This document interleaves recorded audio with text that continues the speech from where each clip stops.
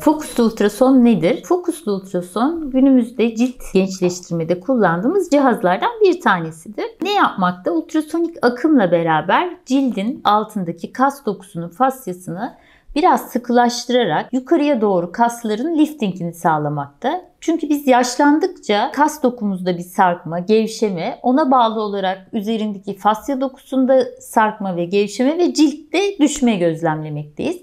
Fokuslu ultrasonla ise bunu toparlıyoruz. Her hastaya uygun mu? Tabi değil. Hastalara göre cildine, yapısına, yaşına birçok faktöre göre bakıp değerlendiriyoruz. Örneğin kişi çok zayıfsa cildi, yağ dokusu çok azsa fokuslu ultrasonu tercih etmiyoruz. Veya cildinde çok fazla sarkma varsa, boyun bölgesinde aşırı bir sarkma varsa ameliyat öneriyoruz. Yine fokuslu ultrasonla çözüm bulamayacağımızı söylüyoruz.